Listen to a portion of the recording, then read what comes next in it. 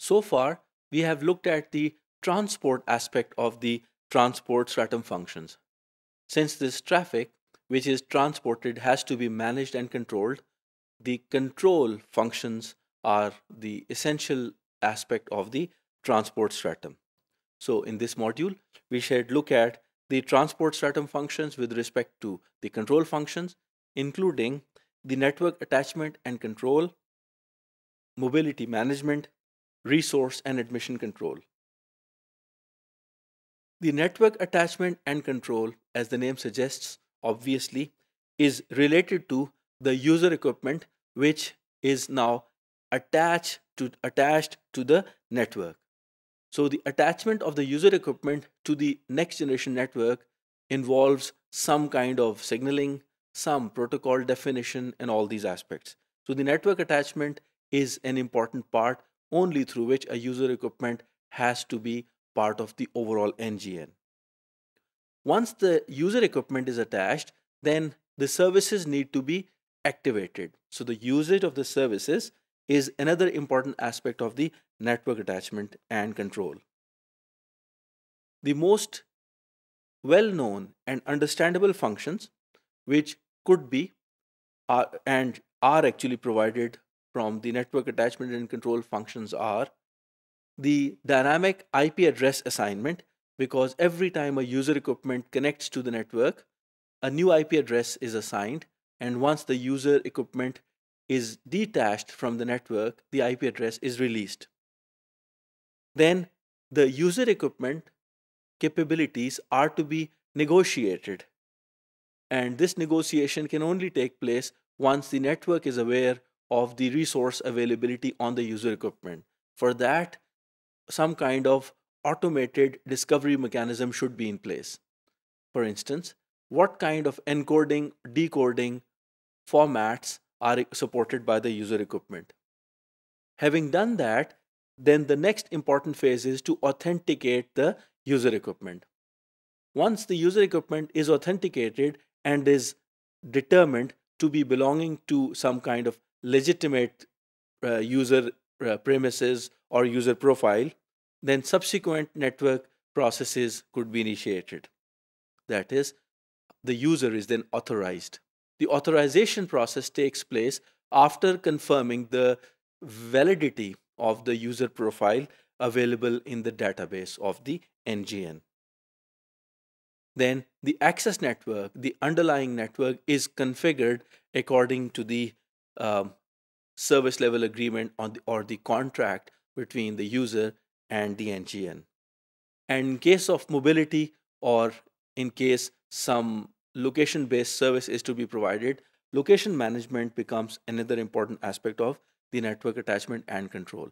Because understand, understandably, when a user equipment is free to move, then some kind of automated attachment, detachment, and reattachment mechanisms have to be defined.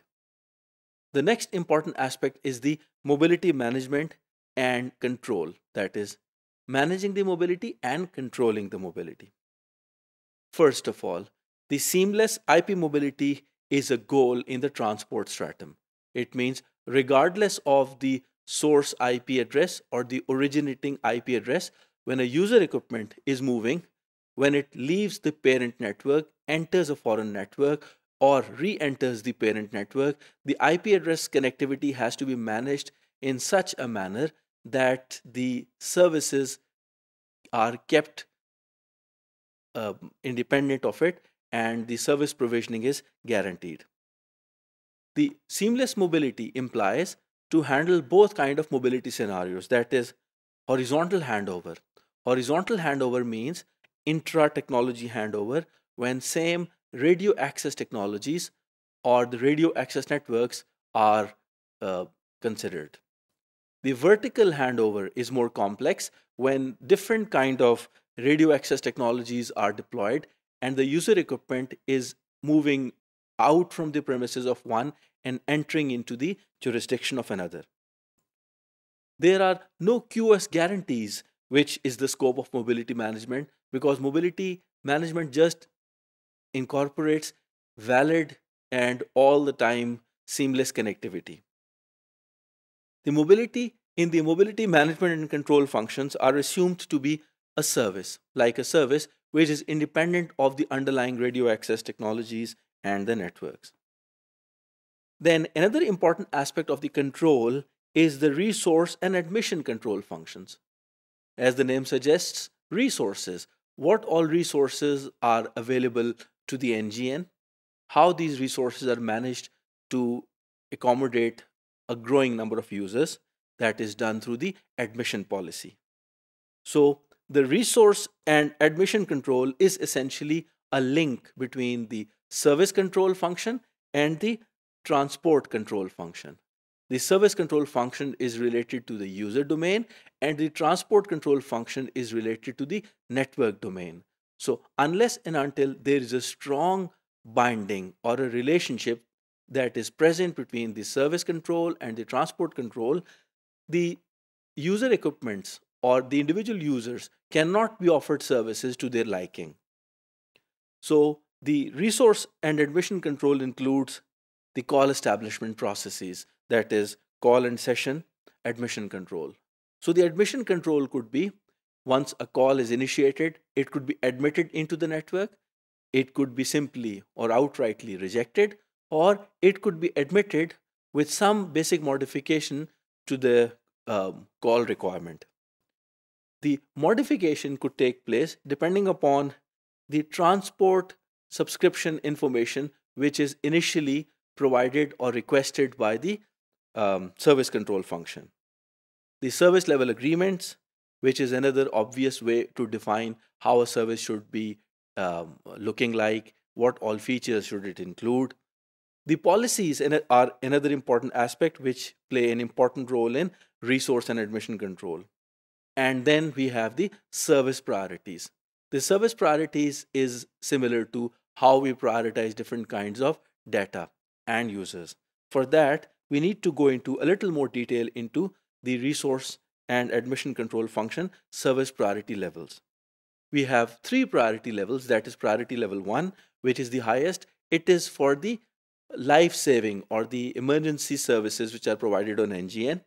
The medium level priority is the priority level number two. It is for the real-time audio, visual, and video streaming applications.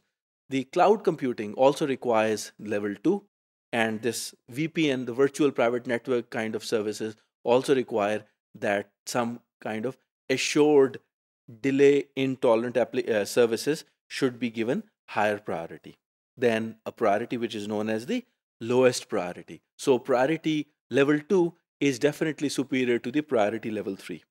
Priority level 3 is mainly concerned with, with transporting and controlling the traffic with least QoS guarantees. And also there are no guarantees on the admission. It means when some kind of priority level 3 traffic is admitted into the network, uh, is, is requested to be admitted into the network, if the network resources are not enough, then it could simply be denied. The examples for this level 3 priority traffic could be simple web and email traffic.